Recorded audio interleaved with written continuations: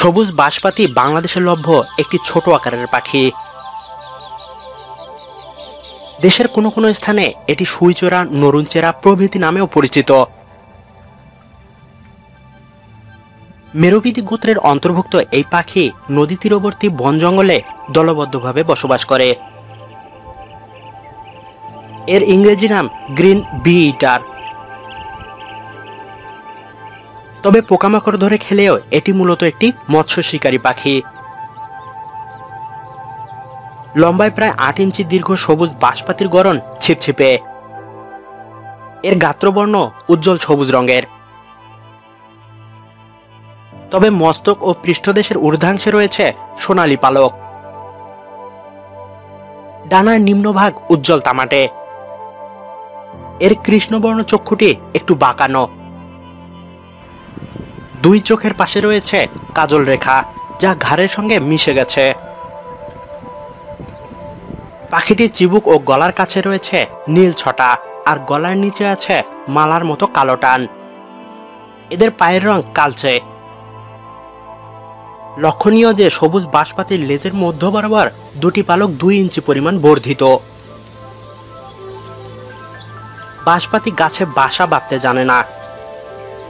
এরা নদীর কূলে খাড়া জায়গায় গর্ত করে বাসা বানায়। প্রজনন মৌসুমে গর্তের গভীরে স্ত্রী পাখিটি পাঁচ থেকে ষাটটি ধবধবে সাদা রঙের ডিম পারে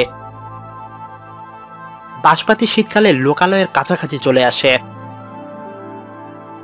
বিদ্যুতের তারে অথবা শুকনা কঞ্চিতে ঘুরপাক খেতে খেতে এরা বসেই আবার উড়তে থাকে। এরা বড়ই চঞ্চল স্বভাবের পাখি। এরা দলবদ্ধভাবে বসবাস করে। এদের প্রজননের সময় শীতের শেষে। সাধারণত নদীর পাড়ে খাড়া জায়গায় সুরঙ্গের মতো গর্ত করে ডিম পারে ডিমের সংখ্যা পাঁচ থেকে ষাটটি এবং ডিমের রং ধবধবে সাদা। স্ত্রী পুরুষ দুজনে মিলে একুশ থেকে সাতাশ দিন ডিমে তা দিয়ে বাচ্চা ফোটায়।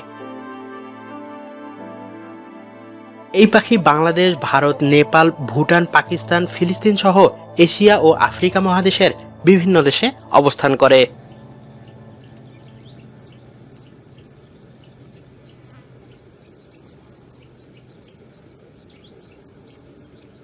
ভিডিওটি ভালো লাগলে লাইক বাটনে ক্লিক করুন এবং শেয়ার করে আপনার বন্ধুদেরও দেখার সুযোগ করে দিন। আপনার কোনো মতামত থাকলে তা কমেন্ট বক্সে কমেন্ট করে আমাদের জানান। এবং এরকম মজার মজার ভিডিও দেখতে আমাদের চ্যানেলটি সাবস্ক্রাইব করুন।